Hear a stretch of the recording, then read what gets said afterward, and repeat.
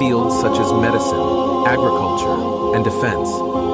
In the field of defense, Israel is a world leader in developing military technology and has a long history of innovation in this area. Despite its small size, Israel has one of the most advanced and well-equipped militaries in the world. The Israeli Defense Forces, IDF, is known for its advanced weaponry, including drones, missiles, and cyber defense systems. Israeli companies such as Elbit Systems and Rafael Advanced Defense Systems are global leaders in defense technology and have developed innovative solutions for a range of military applications.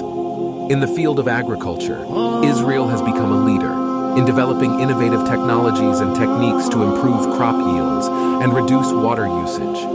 Israel is a world leader in drip irrigation technology, which enables farmers to water crops more efficiently and with less waste. Israeli companies such as Netafim and IDE Technologies have developed cutting-edge solutions for water management and desalination. In addition, Israeli startups such as Taranis and Prospera are using artificial intelligence and machine learning to help farmers optimize crop yields and reduce waste. The Israeli government has implemented policies and programs to encourage entrepreneurship, innovation, and investment in research and development.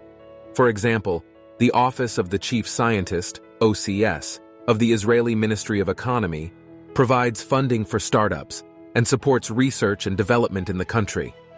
In addition, the Israel Innovation Authority, IIA, provides funding and support for innovative startups and companies.